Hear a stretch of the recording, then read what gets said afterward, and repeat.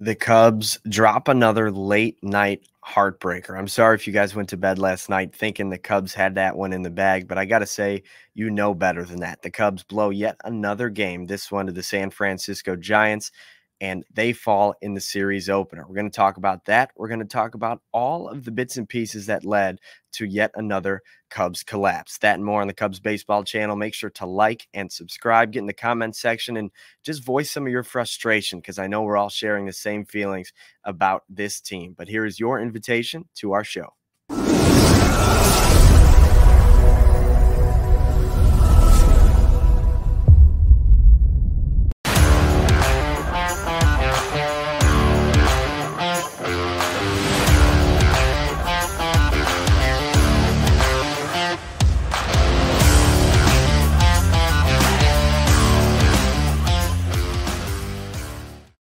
What's up, everybody? Welcome to the Cubs Baseball Channel. My name is Anthony Pasquale on Twitter at ant underscore Pasquale3. Another really tough game for the Cubs to swallow. And honestly, this might be at the top of the list in terms of most disappointing, heartbreaking, gut wrenching games that the Cubs have played. I received a few texts after the game last night when it ended right around uh, midnight.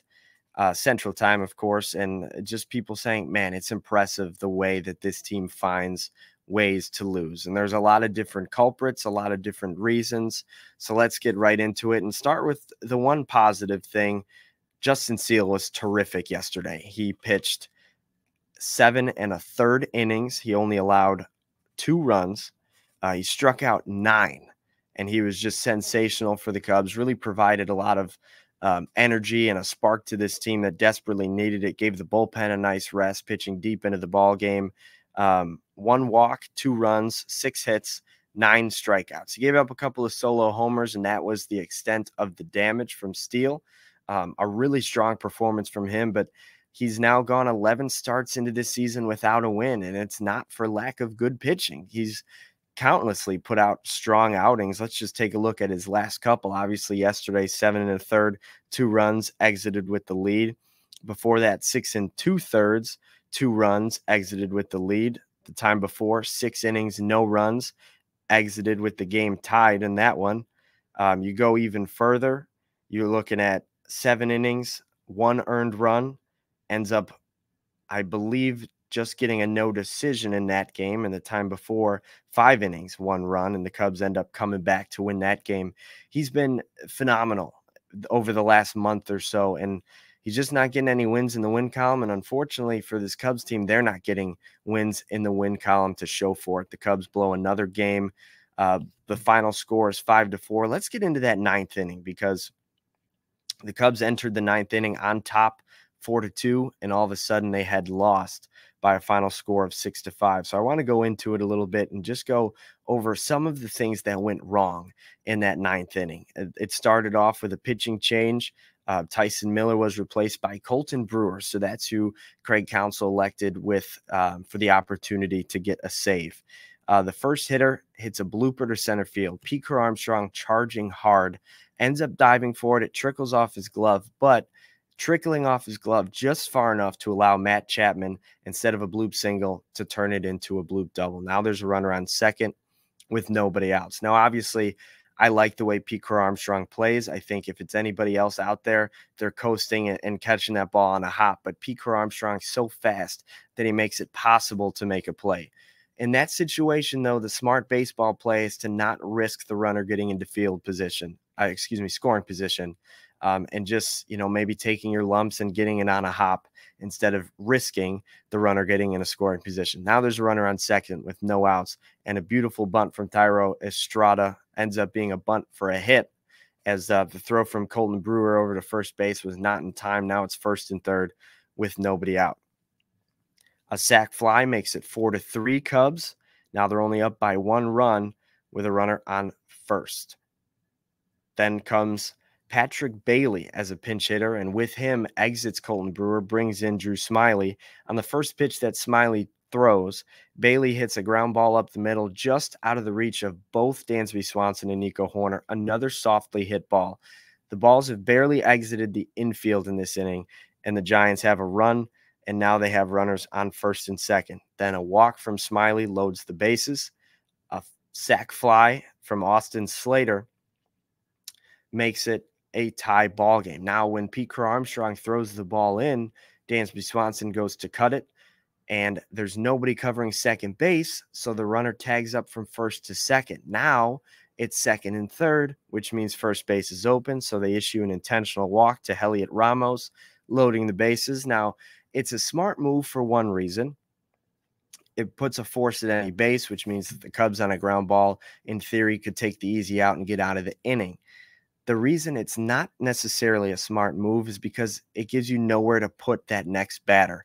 And Wilmer Flores came up to the plate. Drew Smyly struggling to find the zone, as was on display by the previous walk in the inning, walks Wilmer Flores to give the Giants a five to four win on the night that they honor Willie Mays by all wearing number 24. I will say an awesome touch by the Giants, everybody wearing number 24. But as a Cubs fan, this game sucked almost as bad as any game so far this year. It's been so frustrating to watch this team perform and it's eh, every game is right there for the taking and the Cubs just continue to find different ways to blow the game and and that was kind of the play by play on how that ninth inning went if you guys went to sleep last night uh, a walk off walk is the way that the Giants win the ball game as the Cubs fall 5 to 4 they now drop to 37 and 42, tied with the Giants, three games out of a wild card position. We already talked about Justin Steele's performance. Let's talk about the offense. They put on some runs early, a 4 nothing lead, um, but they struggled again to get hits with runners on base. Um, the Cubs had bases loaded, no outs, only scored one run. In a different inning, they had first and second, scored none. Bases loaded, one out, scored two runs in that or three runs in that inning. That was their big inning. They followed that up with first and third, nobody out, including a leadoff triple. Couldn't get a run across there. They end up leaving 12 runners on base and going four for 15 in scoring position. Nobody worse, though, than the newly acquired catcher Tomas Nido. He was 0 for 4, three strikeouts, left eight men on base. Michael Busch, similarly had three strikeouts and he left a bunch of runners on base as well. The Cubs end up stranding 12 potential runners on base and make 11 outs with runners in scoring position. Obviously, it's a good thing to have a lot of opportunities with runners in scoring position, but you have to cash in. Want to give some credit where credit is due, though. Cody Bellinger, two hits. Um, had a, a, run knocked in, and Dansby Swanson might have turned in his best offensive game of the year had a strong RBI double down the left field line, a nice two strike knock up the middle. He also drew two walks and made two outstanding plays in the field. Really good to see from Dansby Swanson, uh, but it just wasn't enough. And the Cubs continued to play uninspired baseball and lose in the most heartbreaking, gut wrenching fashions night after night. I don't blame you if you went to bed because I hated the fact that I had to watch all of that last night. It was a stinger to say the very least. Um, I want to talk about this too. Seiya Suzuki playing uninspired baseball. I think, you know, Mick has talked a lot about how he believes that it starts with Dansby Swanson, but for Swanson, at least his attitude, his leadership has always been there. Seiya Suzuki seems like a space cadet out there in right field. He um, continues to make plays that make it seem like his head is not in the game. We've seen some base running blunders. Um, we saw him get picked off yesterday in the first inning. Um, and then we saw a very lazy attempt on a fly ball toward the wall uh, that Suzuki ended up dropping. It knocked Justin Steele out of the game, probably brought Tyson Miller into the game earlier than Counsell wanted to and the domino effect leaves Drew Smyly out there with the game on the line, which is something that not everybody wants uh, with this Cubs team. Just super frustrating. Honestly, we're running out of words to describe these losses. It's just the same painful feeling that you get day after day, knowing this this team should be winning ball games and they're just not. And the season is getting closer and closer to um, a full on failure. Um, I think right now, disappointment is the only way to describe this season. Um, there's been so many catastrophic collapses that this season is getting close to the point of no return. And uh, unfortunately, we've just had to sit through it. And, and, this team has been so bad. So let's do a quick standings check um, as we take a look at the NL Central standings. Um, Milwaukee still comfortably on top. Let's see if I can share this with you guys. Let's see. Here we go. We've got Milwaukee on top. We've got the St. Louis Cardinals in second place. They won yesterday. The Cincinnati Reds won yesterday as well. So that puts the Reds in third, tied with the Pirates, whom they beat yesterday, and the Cubs pulling up the rear once again, back in last place, nine games behind the Milwaukee Brewers for first in the NL Central. Simply not good enough from this Cubs team. The fans deserve better. You guys deserve better. We deserve better. We deserve to be talking about a team not only trying to win, paying the money to win, making efforts and moves and trades to win, but we deserve a team that's putting wins in the win column. And this Cubs team currently just isn't doing that. Um, but like I always talk about, the good thing about baseball is they get another chance to do so today. Another 8:45 Central start. Kyle Hendricks get the, gets the go for the Cubs. One and four on the season with a 7.46 ERA. Obviously, still a high number, but he has been excellent over the course of his last 10 to 12, 14 innings, um, including a really strong start last time out against the Giants. The Giants went with an opener and a bullpen day yesterday, um, and they still haven't announced their starter for today. So I wonder if they're going to do that again.